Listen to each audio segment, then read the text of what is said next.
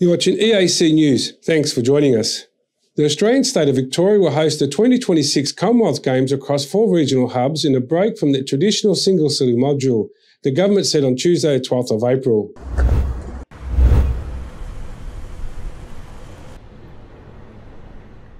With no other countries outside Australia making a bid, Victoria was granted an exclusive negotiating period to secure the Games in February. Victoria capital Melbourne hosted the 2006 Games and will stage the 2026 opening ceremony at the Melbourne Cricket Ground, but the sports will be spread far and wide. Each of the regional hubs in Geelong, Ballarat, Bendigo, and Gippsland will have their own athletes' village.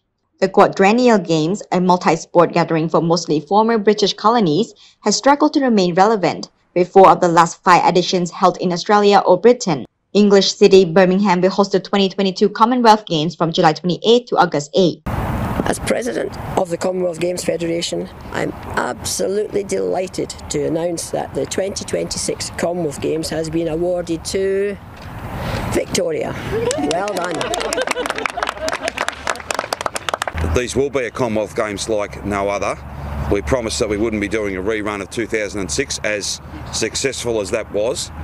The opening ceremony will be in Melbourne and the rest of the program. All the events will be conducted in regional Victoria. All the events, those 16 sports and others that will be added in between now and the end of the year, all of those events will be conducted in regional Victoria, four hubs, Ballarat of course, Bendigo, Geelong and Gippsland.